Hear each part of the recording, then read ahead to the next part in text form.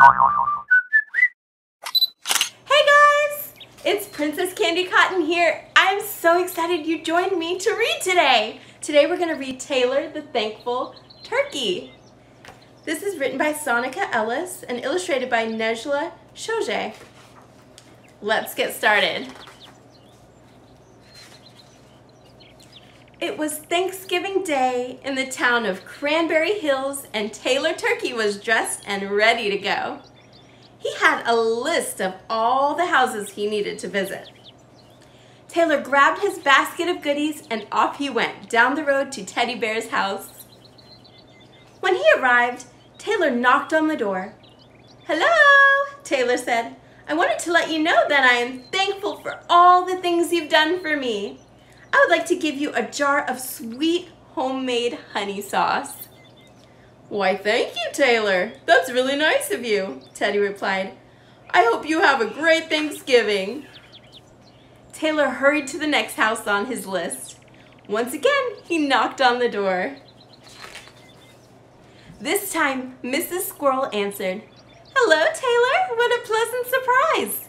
To what do I owe this pleasure? she asked. I wanted to stop by and say thank you, said Taylor. I made some roasted pumpkin seeds just for you. How kind of you, exclaimed Mrs. Squirrel.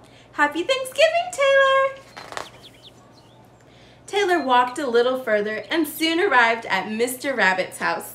Just as he was about to knock, the door opened. Well, hello, Taylor. It's always nice to see you, said Mr. Rabbit. I wanted to stop by and give you this basket of carrots, said Taylor. They're fresh from my garden.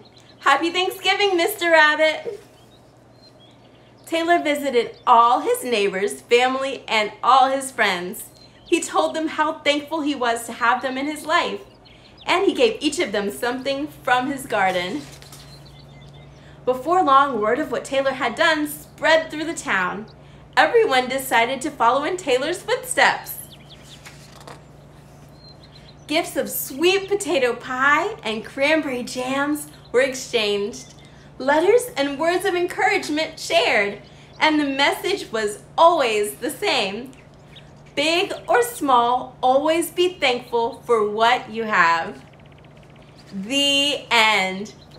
Thank you so much for reading this story with me today. You can find a link to this book underneath the video. And please don't forget to like and subscribe so we can keep reading together. See you next time.